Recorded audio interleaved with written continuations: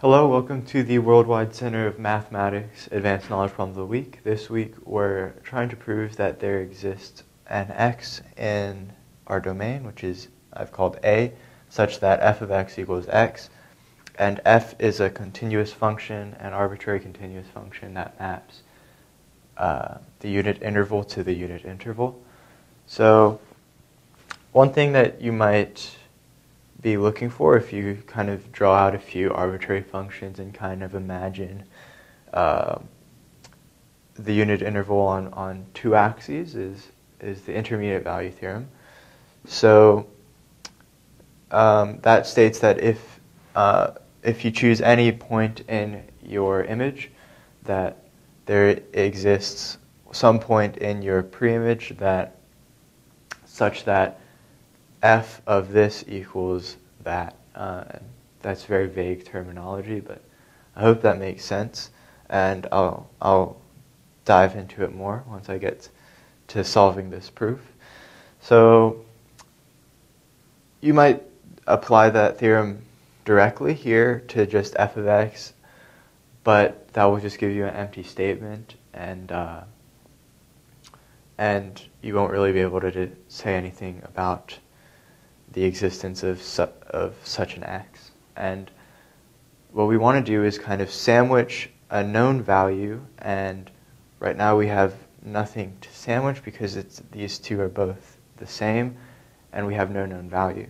So let's just look for a known value, and that's going to be 0, because if we just set... Um, so we're going to like find a new function, be a little clever. Uh, so call that function g of x and set that equal to f of x minus x. And that's much, much more um, solvable because now we have a more concrete thing that we're looking for, being we want to show that there exists some x in this unit interval such that g of x is equal to 0. So let's just get a quick sketch down to see kind of the a rough outline of g of x.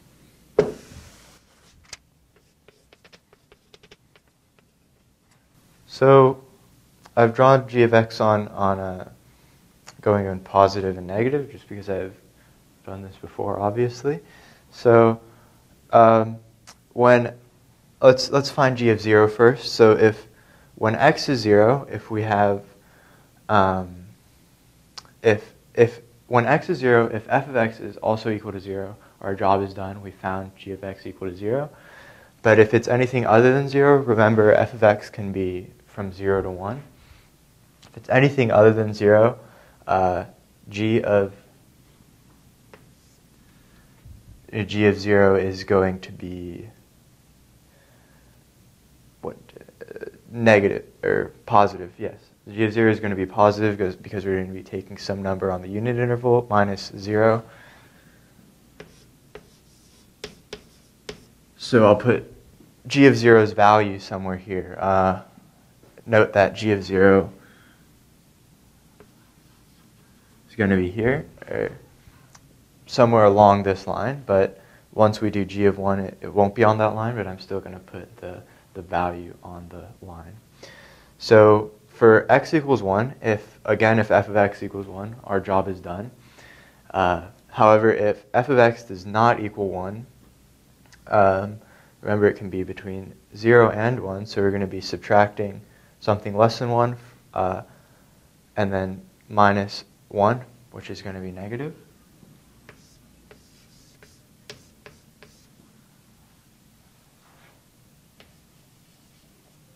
And again, that point is going to be somewhere around here. And so right off the bat, since g is a continuous function, uh, the com compositing of two continuous functions, um, I, it would be impossible to draw a line that doesn't go through zero. So that's the intuitive part of of um, of the intermediate value theorem, but we're just gonna go a little bit more in depth into it. So we see that g of x goes from 0, comma 1 to neg 0, comma 1 to negative 1, comma 1. And um, of course, because this and the, the, these two sets are the same, those two intervals. Uh, this is a compositing of these two. And so 0 is between uh, negative 1 and 1. So since g is continuous, there's going to be a map going to uh, from there's there's going to exist a map from some x in here to 0 make and you just choose whatever x that may be. Since this is a an abstract uh, equation we can just say let x be an x such that g of x equals 0 and then you're done but it's, it's helpful to write out the kind of more concrete, wordy proof rather than just having a, a picture here. Um, so yeah, thank you for watching this advanced knowledge problem, um, problem of the week. This is a calculus 1 concept um, applied uh, to a more general notion that you might see in, in something you might see in analysis. But if you're interested in the subject, definitely check out our website in this link and you can peruse our calculus books. Or um, you can also subscribe to our YouTube channel or check out more advanced knowledge problems of the week with these links here. Uh, of course, if you're on mobile, there's going to be a card popping up in the corner that you can click on for all these links. And thank you for watching and have a good day.